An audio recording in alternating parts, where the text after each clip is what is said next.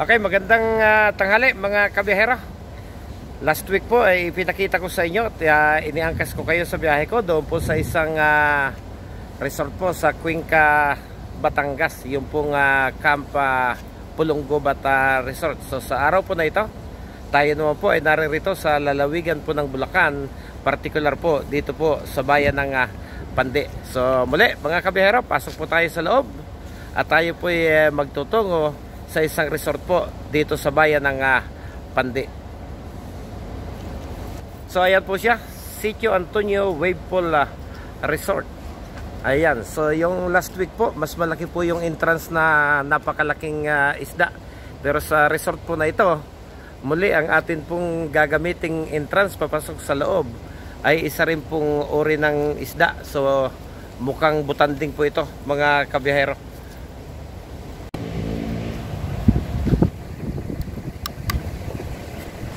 Ayan, pasok po tayo sa loob.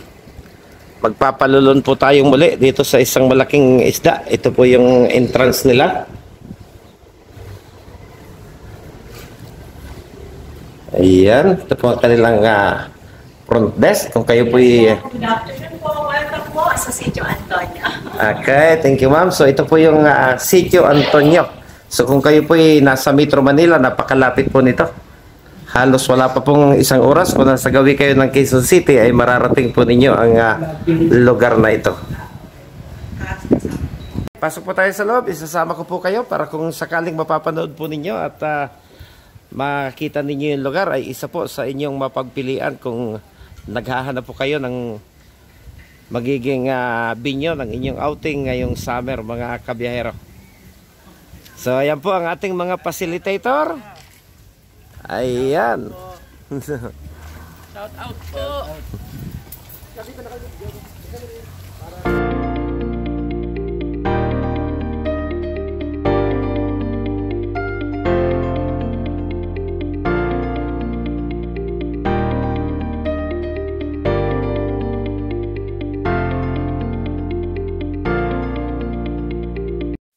Pagpasok na pagpasok po natin sa kanilang uh, swimming area ay ito po yung ating unang mabubungaran, yung pong uh, kanilang pavilion at ito pong kanilang uh, resto area. Ito po yung kanilang uh, restaurant.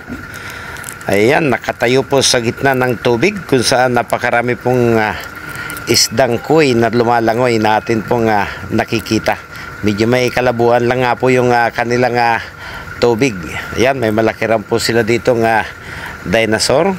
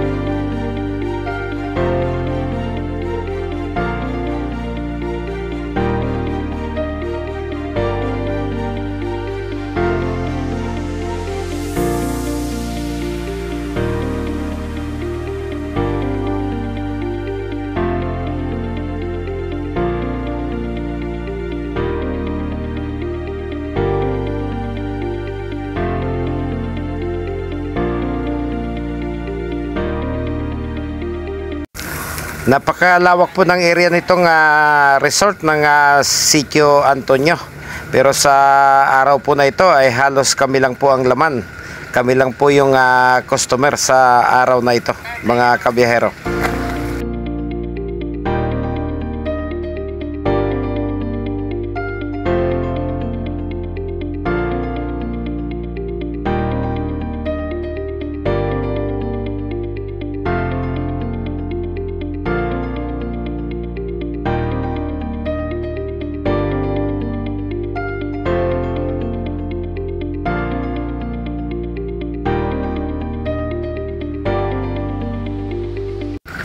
Yung pong inyong natatanaw na napakarami pong ah, pintuan, eh yan po yung kanilang bathroom at ah, comfort rooms. Yan na rin po siguro yung kanilang mga shower rooms. So napakarami po.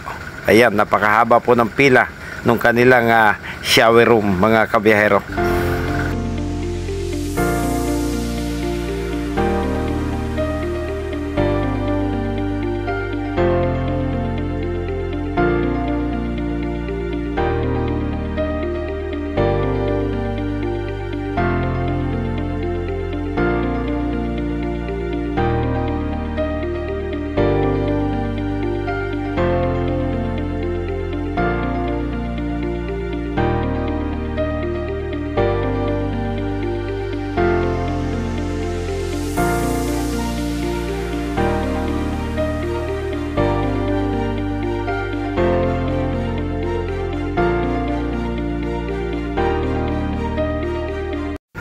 Napakarami po ng ah, swimming pool sa lugar na ito pero kapansin-pansin na marami din pong ah, swimming pool ang hindi pa nalilinis at napansin ko po na maraming ah, staff ng resort ang kasalukuyan pong ah, nagsasagawa ng pagsasaayos sa mga facilities po nitong buong area. So siguro po inihahanda po nila ito para sa nalalapit na summer mga kabiyahero.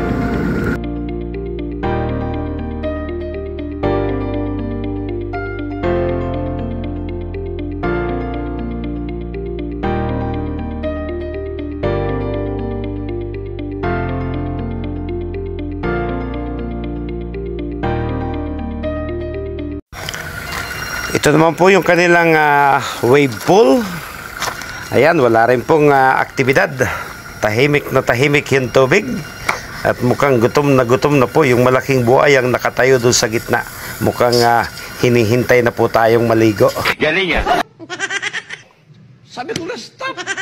Okay mga kabihero, bago po tayo tuluyang ah, magtapos, isasabit ko po yung ah, address, yung pong pinakang brochure na naglalaman po ng kanilang telephone number at halaga po ng entrance fee at mga presyo ng kanilang cottages mga kabihero.